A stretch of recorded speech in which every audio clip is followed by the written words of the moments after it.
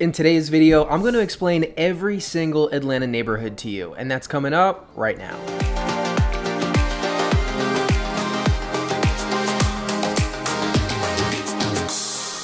Hey everyone, this YouTube channel is all about helping you get to know what it's like to live in the Atlanta area. And I thought, what better way to help you get to know the area than to pull up a map and literally give you some brief thoughts on every single Atlanta neighborhood. So let's not waste any time, let's get right into it. I'm pulling up a map of Atlanta and I'm gonna give you a brief description of each neighborhood. By the way, my name is Marc, I'm a local realtor here, and if you and your family are looking to relocate to the Atlanta area and need to purchase a home, you can work with me. Please schedule a Zoom call using the Calendly link in the description below or call me, email me, whatever you want to do, but I love when my viewers become clients. All right, so I have a map of Atlanta pulled up. There's two things you need to know before we dive into this. Number one, I will be talking about neighborhoods that are not technically in the city of Atlanta. Usually people who live here use the perimeter of I-285 to denote being in town or out of town in the suburbs. So just keep in mind as we're going through these neighborhoods, some are in DeKalb County, unincorporated DeKalb, some are cities in their own right. This is for more practical purposes, not literal purposes, because the practicalities of living here, you'll need to know more than just what's in the city of Atlanta. The second thing I want to say is that Atlanta in particular is very micro, meaning you cannot judge an entire book by its cover when it comes to neighborhoods. This is something that investors do. They like to give neighborhoods a grade. In Atlanta, things change rapidly from street to street.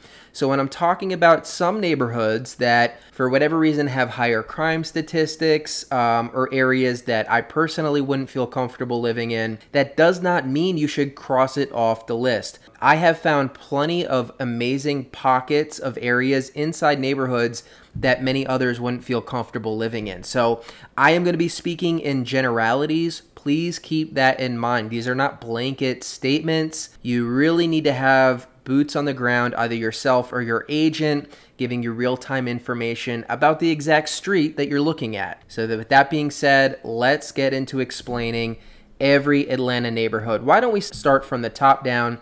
We have the perimeter here, okay? And so this is what we're going to be covering. You see the actual city of Atlanta and you see the perimeter. Now, for whatever reason, typically the north side of town uh, is more affluent, has more money, economy, better schools, and is more desirable. So let's start off up top with Brookhaven. So uh, Brookhaven is an extremely desirable area, high end.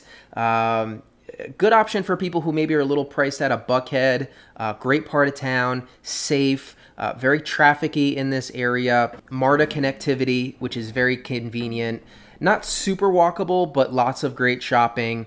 Uh, there is historic, you know, Brookhaven, which is very expensive and desirable. It's a beautiful area. Oglethorpe University is over here. So uh, Brookhaven, North Brookhaven, extremely desirable areas. Of course, the convenience here is that you're on the north side of town. You have a head start if you need to head up north. You're still not far from Midtown. You're still not far from the airport. So, and you're also close to a lot of great food. That's what else I'll say about Brookhaven. Close to um, Buford Highway, which is my personal favorite place to eat. So uh, there's a lot of great cheap eats if you're living in the Brookhaven area. We'll go clockwise here. So let's do Chamblee and Doraville. Uh, these are fairly similar areas. These are some of the fastest growing neighborhoods in the Atlanta area. A lot of development going on here. I love these areas because of Buford Highway. Okay, there's incredible affordable ethnic food, uh, particularly Asian and Latin American uh, all in Doraville and Chamblee. So if you're a foodie, this is a great place to be. There's also really good affordability, right? The adjacent areas are very expensive. Chamblee and Doraville, a little bit uh, less so a little bit more dense. You're seeing more, you know, apartment condo buildings be, be built up here, a little bit less so in the single family side. The DeKalb Peachtree Airport's nearby. I don't know how that how relevant that would be for anyone, but um, great area. I actually uh, just helped a couple get under contract um, with a townhome in Doraville. It was in the mid twos, right? It was not super upgraded, but it was livable. It was a nice community. So Good affordability, especially if you're willing to be in an attached option in this area. By the way, I have no idea how long this video is going to be because I'm going to speak for minutes about some areas and a few seconds about others. So hopefully I don't run on too long. Okay, so as we go east and go clockwise down south, uh, we're going to go Ashford Park, Brookhaven, really desirable area, um, you know, pretty similar to Brookhaven. Uh, but this whole section, this is, these entire area is not an area where you're going to need to be worried about safety. Schools tend to be pretty good and uh, just a very desirable area. Good shopping, good lifestyle, very desirable area all around here. There's just going to be different gradients of affordability. Typically, you get a little bit more affordable as we're heading east. Um, so let's see what else we have. All right, so Embry Hills. Uh, I haven't spent a lot of time in that area, honestly. Um, nice area though. As we go south into North Lake, typically it gets a little bit more of a mixed bag, especially if you're outside the perimeter. A little bit more affordability uh, as we go over to this area, kind of the Tucker area, which I will do a whole video about the surrounding suburbs soon, so look out for that. But um, decent affordability in this area in general. I would say, you know, you're gonna need a budget starting in the low 400s to get a move-in ready home. Um, but this is a good value here because the, the prices aren't quite as expensive as the areas that we were just talking about, like Brookhaven. All these areas could work. I mean, you're on the east side of town. For those of you looking to work at Emory, this is going to be an easy commute south yeah, you know, great, great area. I mean, I don't know much more to say about it. North Lake, we just talked about that. So as we move into like Briarcliff Woods, Oak Grove Acres, Sagamore Hills, down into North Druid Hills, again, uh, these are expensive areas. These are areas where you're probably going to need for a detached home a budget in the high fours, probably at least in the $500,000 range. North Druid Hills, great area. I've worked in that area a lot. Uh, large Jewish population there, uh, a lot of Hasidic Jews you'll see walking around all the time. So I know that will be important for some people. Not super dense. Again, the, the city in general is not dense, but uh, you don't have a ton of walkable, dense areas over here. The traffic is pretty treacherous in the North Druid Hills area.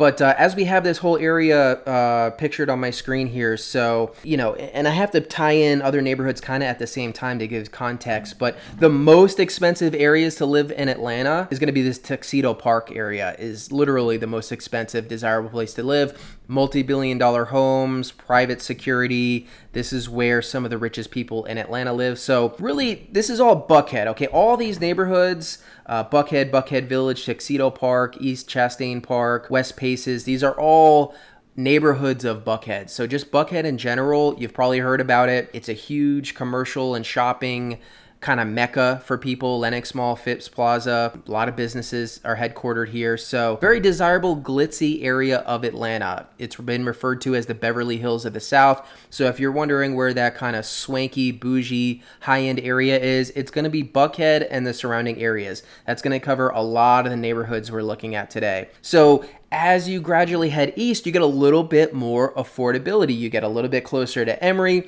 As you move east, things get a little bit more sprawled out, a little bit less dense, you get larger lots, you get a little bit more value for your money, and all of that is still close by. Great areas, really very desirable areas. All these areas that we're covering so far, you're not going to have to really worry at all about safety. Uh, typically, the schools are pretty good. There's lots of good privates and charter school options. So, you know, we just kind of covered, and granted, I'm doing this all on the fly here, we just kind of covered most of Buckhead. I mean, Peachtree Hills, Lindbergh, Buckhead Village. It, it's all kind of Buckhead, and it has different um, variations, different um, pros based on maybe how close you are to Piedmont Park or the Beltline. So where you would particularly look at is going to come down to your budget and the size requirements. But needless to say, these are all pretty expensive areas. So just to give you a little bit more context, I mean, you know, we're talking in this whole Buckhead area, at least in the sixes for a starter home, probably higher. I mean, it's mostly multi-million dollar homes. You can probably find something decent in the seven to nine hundred thousand dollar range. Probably better than decent. Maybe I'm selling it short a little bit. As we head east into you know the North Druid Hills, East Side area, again, you can probably get into many of these neighborhoods in the high 400s but your five to 700 range is going to be the sweet spot for most of the neighborhoods that we're talking about uh, on the east side over here until we start traveling south a little bit all right? So we'll stay we'll kind of use this 7585 connector here as our middle point to move clockwise around. Again piedmont heights morningside lenox park super desirable, expensive areas. You can see you've got Piedmont Park right here, Atlanta Botanical Garden. Going into Midtown. Midtown is one of the most desirable areas to live in Atlanta. Commercial arts district. There's more things and amenities to do in Midtown than probably anywhere else in the city. So this is a great place to stay if you're visiting. Um, you're going to want to go to the High Museum. You're going to want to walk on the Beltline. You're going to want to go to the Fox Theater, go to a nice restaurant. So Midtown is more dense. So if you want a single family detached home in Midtown, I mean, it's probably going to be at least in the high 700s, if not 800s. Great option though. And all these options, remember, have attached affordability. If you're okay with being an apartment, condo, or townhome, you can live in all these areas at a much more reasonable budget than if you need a single family detached home. So Midtown, we know about Midtown, large gay population here. I know that's important uh, for some people. So that would be an area where I think you'd feel right at home and very accepted. And I think the whole city of Atlanta, I don't think you're going to have any issues feeling accepted, but I will point that out there. So that's Midtown. You know, we talked about Druid Hills. Okay, Decatur. So city of Decatur, you've heard me talk about this all the time. Technically a suburb of Atlanta, but as you can see, I mean, you're literally a 15 minute drive to downtown Atlanta. So it is definitely worth talking about for our purposes today. City of Decatur is one of the only areas inside the perimeter with really good public schools, highly rated, and for that reason, it's very desirable. And a lot of people want to live here. Not only does it have good public schools, it's got a great, dense, walkable downtown area. It's a great vibe. Some of the best restaurants in the city are here, and this is one of the more walkable areas. So the closer you are to downtown Decatur, the more expensive the homes are going to be.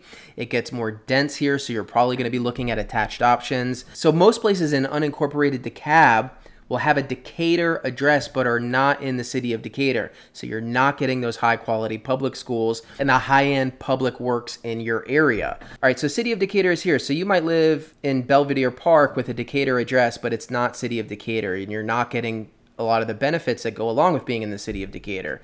So Winona Park, College Heights, Oakhurst, really desirable areas. Um, great vibe, very family oriented, a lot of dense walkable areas all throughout here. Great public schools. If you want to be really in town, but you have a family that you want to raise, this is probably the first spot I would look at. All right, so that's Decatur. Let's go west a little bit. So, mostly these are fantastic high end neighborhoods. I mean, Lake Claire, very expensive and desirable, a little bit more quiet, but still being super in town, obviously. Kirkwood, extremely popular, you know, has really come up in the last five to seven years. A lot of development on Memorial Drive. Kirkwood's a very kind of hip, desirable place for younger people to live. There's plenty of families there too. Now, as we go east, Obviously, it's going to get a little bit more city living, a little bit more dense. So Edgewood, uh, you know, growing quite a bit popular place, uh, a lot of shopping over there. El Tesoro, that's a good restaurant. Cabbagetown, Reynoldstown. Again, all the development along Memorial Drive is really changing these areas. Great in-town neighborhoods to live at. Definitely going to be more on the expensive side to live here. These are the desirable in-town neighborhoods. So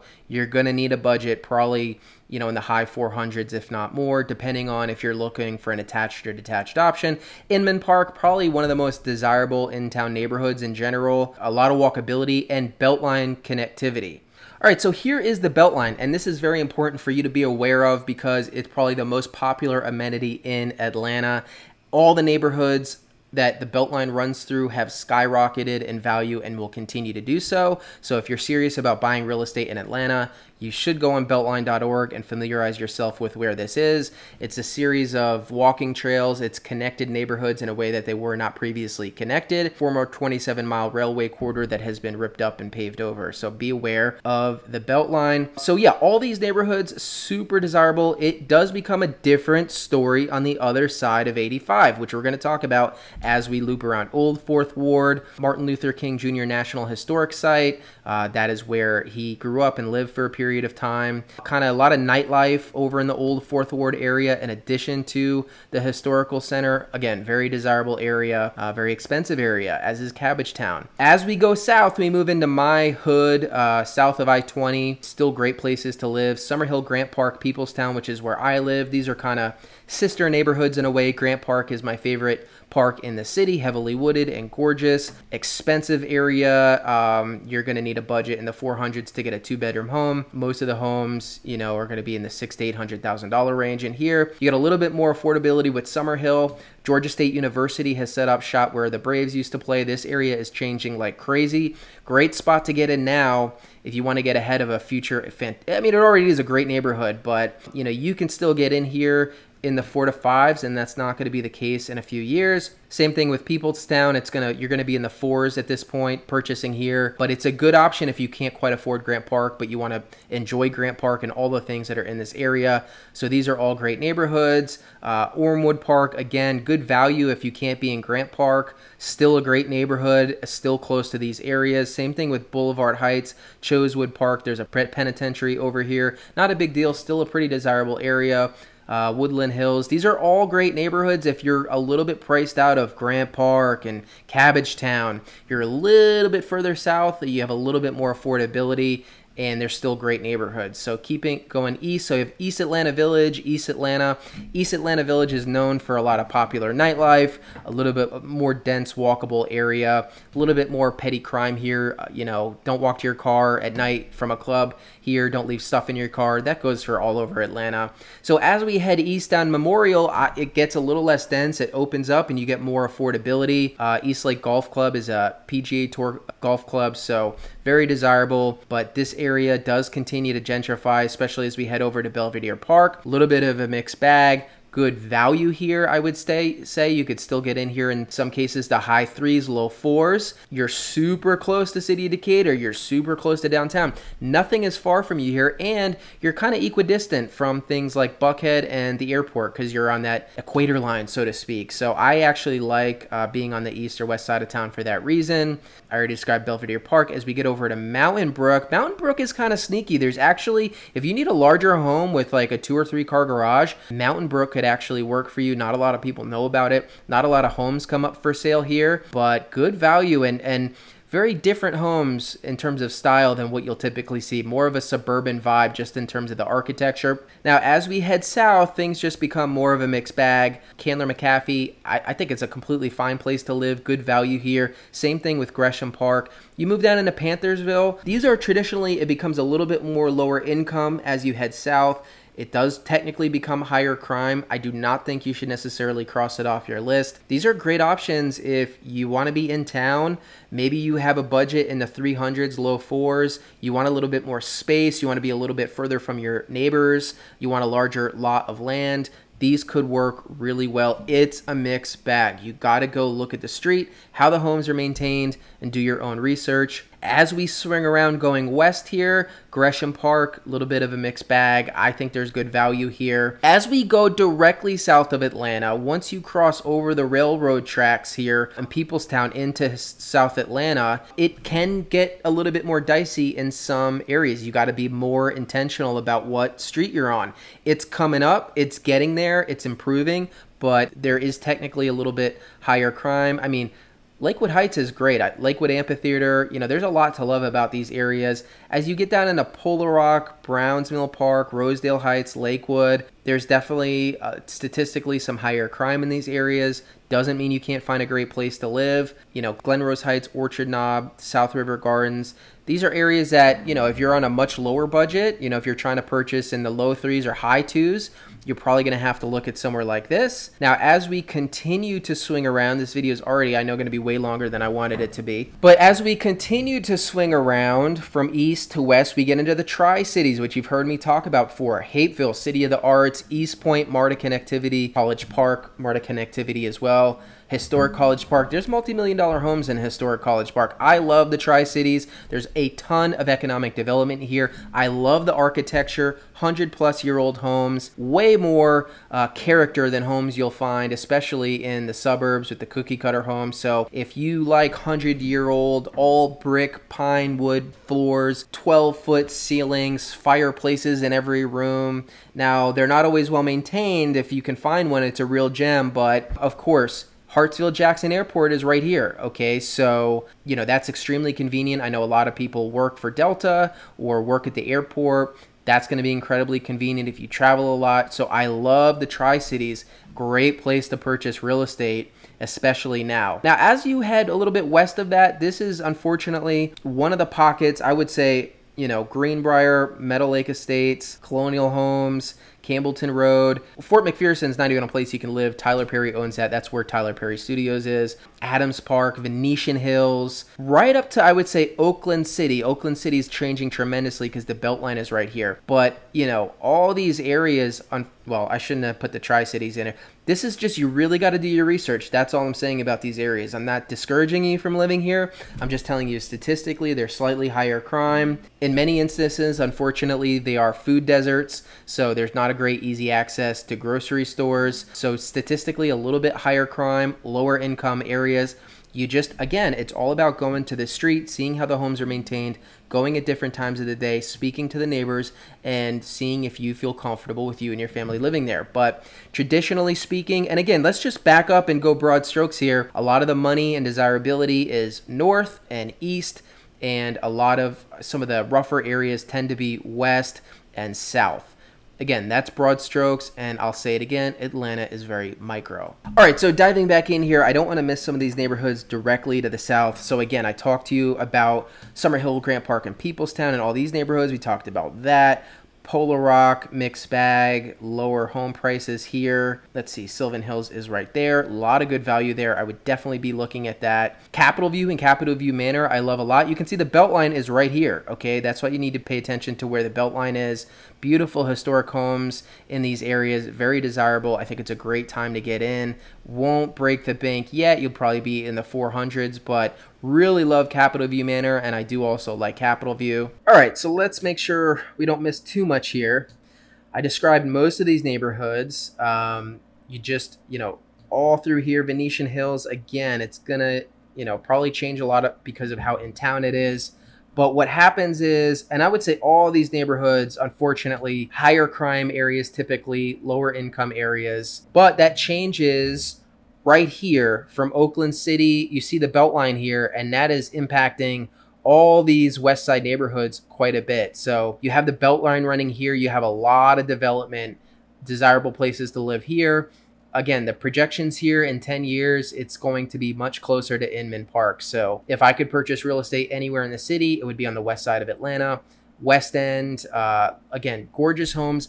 Very similar to the Tri Cities to the south. Incredible architecture here. Good value. A little bit of a mixed bag. If you're not have a good tolerance for city living, you know that might not be the area for you. But love the West End, Mozley Park, Ashview Heights you know, obviously Georgia Tech is over here. A lot of the HBCUs are over here. Clark Atlanta University, uh, Morehouse. So these are really historic neighborhoods. Um, you know, there's a lot of history here, a lot of history with the civil rights movement. I think these are great places to live with good value close to the Beltline. I would live anywhere from Westland to Westlake. You know, once you get past Joseph E. Boone, you get into Bankhead and English Avenue, which are traditionally some of the highest crime areas inside the perimeter. That is changing quite a bit because of Mercedes Benz Stadium, all the tourism, and just you know, Georgia Tech is right here. So the Georgia Aquarium is right here. So this is an area right now that's high crime, but it's, it's a dichotomy. It's a total dichotomy. You have poverty and crime, which is incredibly unfortunate. And you have a lot of new shiny objects here, which it's pretty wild to see. So, so you know, will we go right here. If I want to break this up a little bit, we've got Home Park, which is like a, a college town. This, this is where all the kids at Georgia Tech live. Atlantic Station, big shopping area, very popular, swanky area. That's a nice place. Um, if you're if you're into kind of that vibe, if you want to live in a high rise and be close to shopping, Atlantic Station could be a good option. Georgia Tech, obviously, that's the university, home park. Knight Park Howell Station is actually a really desirable area, very desirable. This West Side Reservoir Park, you know, Atlanta's West Side Park is really going to change things. It's the largest park in the city. It's not completely open yet.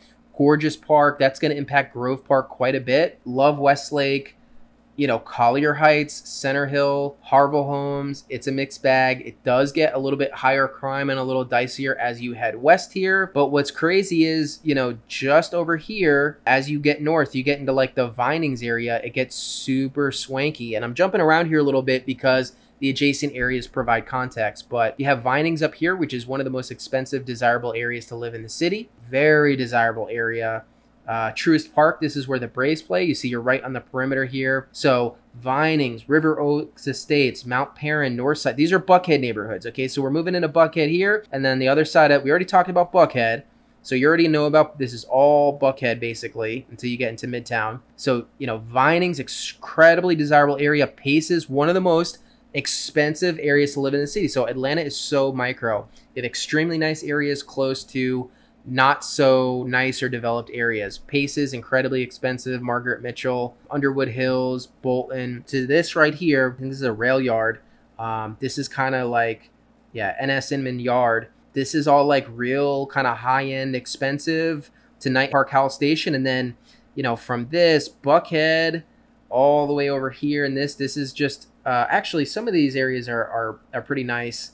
Um, but Collier Heights is where definitely gets a little bit dicier. So this is kind of like, you know, it, it blends into one another here. Again, you just got to go to the area. But as we head south, again, Harland Terrace, Florida Heights. Um, Florida Heights, not so bad. Dixie Hills was on my number one list of Atlanta's most dangerous neighborhoods. You know, it's very unfortunate, but if you drive through Dixie Hills, it's just going to be a, a ton of abandoned apartment buildings.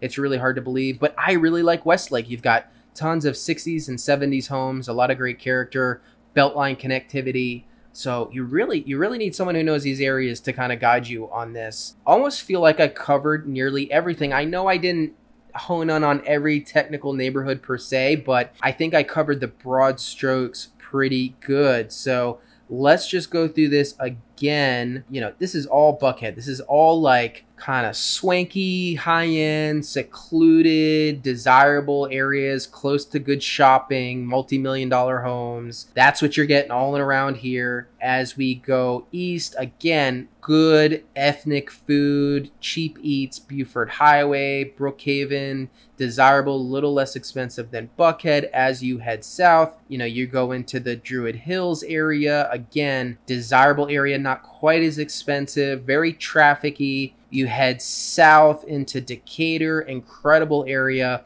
for families, you know, and then as you uh, go to eat, I love Scottdale. Okay, great affordability here, pretty safe area, easy access to downtown Decatur. I'm a big fan of Scottdale and Avondale Estates. You've heard me talk about these areas before. As you, you know, cross over here into Belvedere Park and Candler McAfee, it just it comes a lower economic area. It's a little bit more of a mixed bag. Great option for people who are a more uh, on a lower budget but want less density, a larger lot. East Lake Terrace is really coming up. Talked about Gresham Park, Panthersville. All kind of the hot in-town neighborhoods are right around here. Inman Park, East Atlanta Village, Grant Park, Cabbagetown, Old Fourth Ward. These are like I'm young, I want to be in town, I've got money, or, you know, many people are renting, so you, maybe you don't need that much money, but very, you know, Little Five Points is known for, you know, being very kind of uh, out there and diverse and kind of a funky place to go. And there's a little walkable area with some good bars and shopping over in Little Five Points. You know, you get into the touristy section as you're closer to downtown. Georgia Aquarium, World of Coke, State Farm Arena where the Hawks play. So a little bit of a touristy zone here. Mercedes Benz as you go west. Vine City, English Avenue, Bankhead, unfortunately, some of the highest crime areas in the city. Now we're going like West Side, which you hear me talk about all the time, the West End, the Beltline. It's all being built up over here. I love these neighborhoods. That's where I would purchase real estate. You've got some really cool Atlanta neighborhoods just south of I-20. This is the section of town that I live in, a little bit less expensive than an Inman Park area, but really in town. I love this area. All these neighborhoods are great. As you go south a little bit, again, it becomes more of a mixed bag, crossing into historic South Atlanta, Lakewood Heights, Polar Rock, Browns Mill Park, Perkerson. We talked, I love the Tri-Cities. You know I love the Tri-Cities. Uh, they're really kind of different than this whole other area. West side, unfortunately, all this area, you just, I'm not telling you don't move there. If you're on a lower budget, you need to be in town. Any of these areas could work. It comes down to your tolerance for city living. It comes down to how many abandoned homes are in the area. If you're seeing drug activity and you make your best decision for you, but I'm just telling you broad strokes. It is technically a lower income, higher crime area. And that continues as you head north until you, you know, get over into like Brookview Heights, Monroe Heights, and then going into Vinings where it gets very swanky and expensive again. Okay, so uh, that's why a lot of people divide north of 20 from south of 20, even though I live south of 20 and there's great neighborhoods here. But, you know, there's a lot of money and desirability in these areas, and this is just a little bit more of a mixed bag. So there you have it. I feel like I talked for an hour. I'm sure I skipped over some neighborhoods. I'm sure I said some things wrong. I think I gave you a better idea of the neighborhoods in the Atlanta area. It's hard to do, okay? It's hard to do. Atlanta is very micro. Things change from street to street. You cannot judge a book by its cover.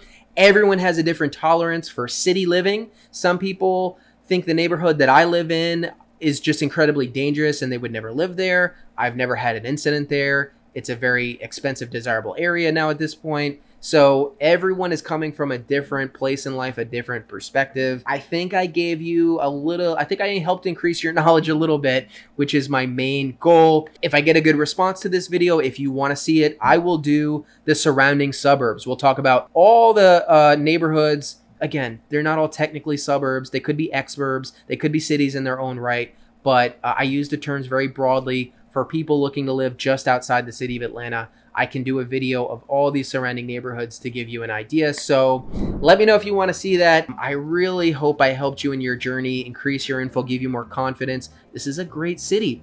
One of the biggest challenges of helping people buy a home in Atlanta is that there are so many places that could work for them. Okay, so we have to narrow it down based on what's most important to you. So hopefully I helped you do that. Thank you so much for watching. If you do want to work together, just book a call with me. Call me up, email me, or book a Zoom call with me, whatever you want to do. I love working with my viewers. I've done it many times now. You can check out my Google reviews, Living in Atlanta team. I hope to hear from you. And until my next video, I'll see you next time.